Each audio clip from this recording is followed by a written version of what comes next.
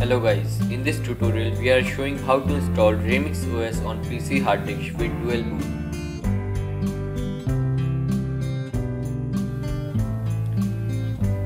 First, download requirement files from Technoplanner's website, link given in description.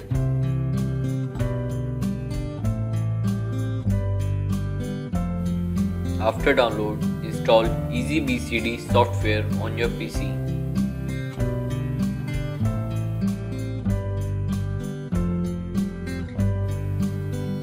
Now create a partition at least 10 GB and format it to FAT32.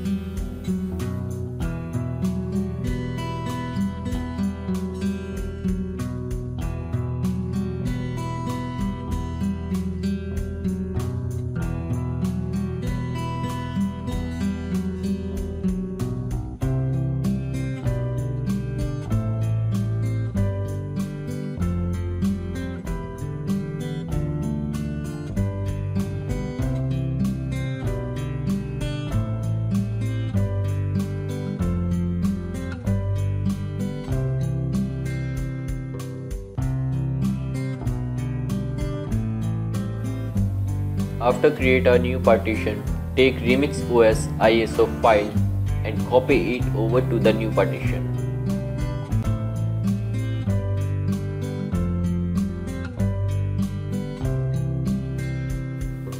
Now extract the content of the ISO file using WinRAR. After extract, you should now have the ISO plus extracted files in your partition. Now go back and open EasyBCD tool on your PC.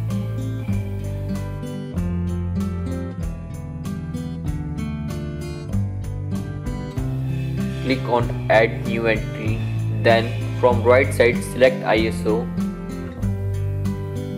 enter name as Remix OS then select ISO file in path option and click on add entry.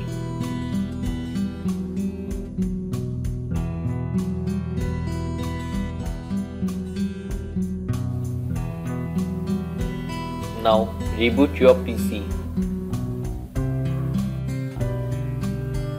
After reboot, you should have the choice to pick Remix OS